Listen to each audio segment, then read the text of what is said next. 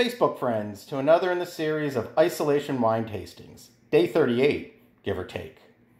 I am here quarantined with me, myself, and I. And once again, I have my sidekick, Jeff Probst from Survivor here. As you can see, we are celebrating Groundhog's Day tomorrow. And why, you might ask?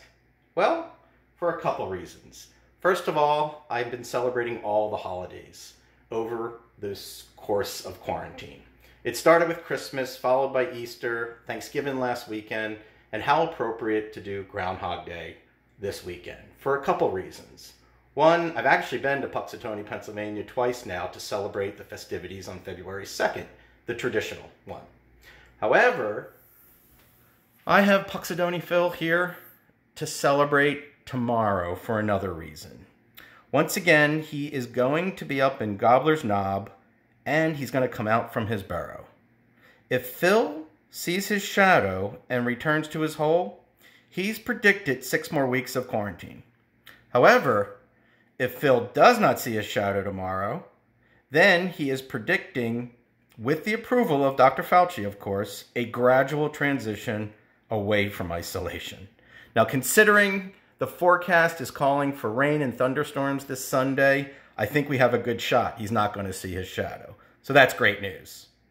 So if you're a fan of the Groundhog movie by Bill Murray, where he does the same thing over and over and over again, for instance, hitting the alarm clock to the music of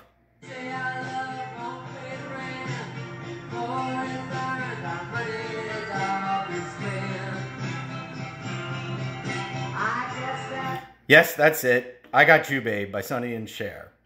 You may be experiencing the same thing while you're in isolation. Day in, day out, the same thing over and over again. So with that, it's going to require large quantities of wine. And what better way to pay tribute than to box wines? I know many of you are about to faint when you heard those words come from my mouth. well, you know, box wines, when you think of them, what's the first thing that comes to your mind? Franzia, right? Mm. Well, I'm not into those sweet wines. But, you know, many other brands, including some expensive box wines, are now coming to the market.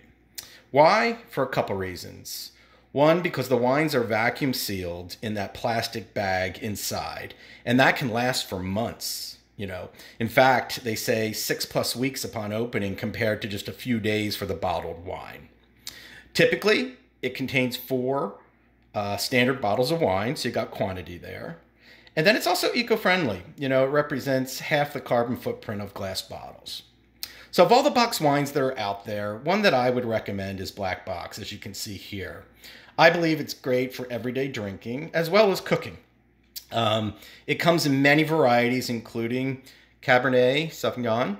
It comes in Chardonnay, Pinot Grigio, Pinot Noir, Shiraz, Sauvignon Blanc, Rosé, Riesling, Merlot, and a red blend, and probably several more.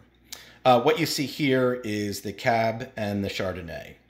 Uh, these wines are typically priced less than $20 a box, so that calculates to about $5 a bottle, so very reasonable.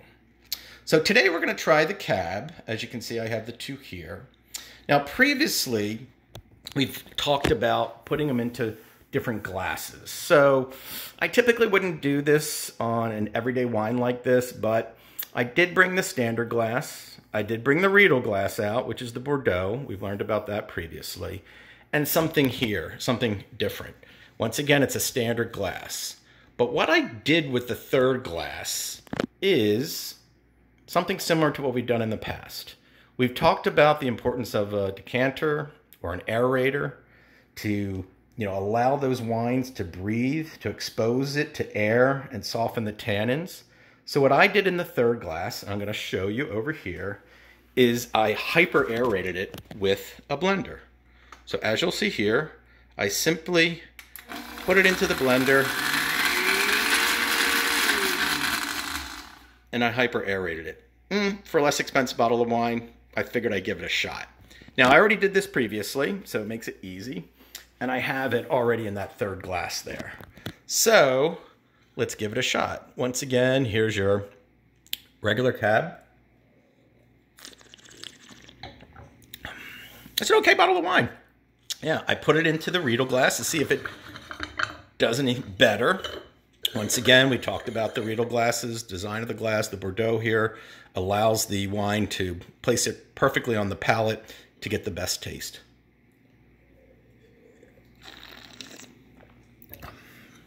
You know, for a least expensive bottle of wine, you know, it does taste better. I'll be honest with you there. Um, and then last, this is the aerated one, the one that I sent through the blender. And this is, I think, the first time I've done this. I might have did it once before, but it's been a while. So let's try that. You know, that's pretty good. It's pretty good.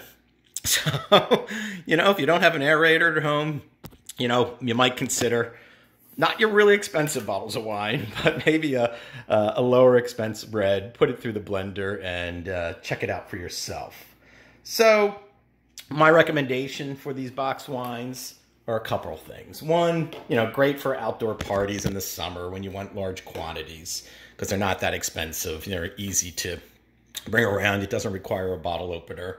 Clearly, they're excellent to pack in a cooler and take to the beach. I typically remove the plastic bag from the box.